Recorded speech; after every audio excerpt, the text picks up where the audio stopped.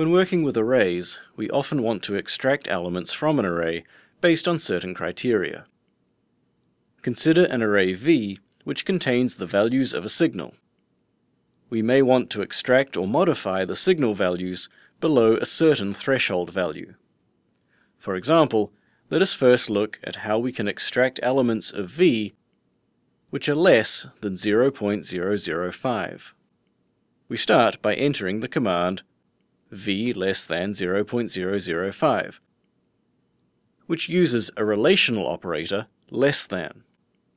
This command compares each element of v with 0.005 and combines the result of every operation into an array of the same size as v. Recall that using a logical operator with two scalars results in a logical variable that has a value of either true or false. Thus, the result of the command v less than 0.005 is a logical array, i, in which every element is either true or false. We now use i to access specific elements of the array v. The syntax is similar to the one using the locations of elements to be extracted.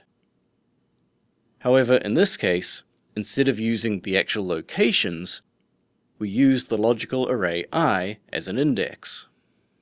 MATLAB uses i to extract the elements of v corresponding to the locations where i is true. The result is a numerical array containing only the elements of V that satisfy the criterion.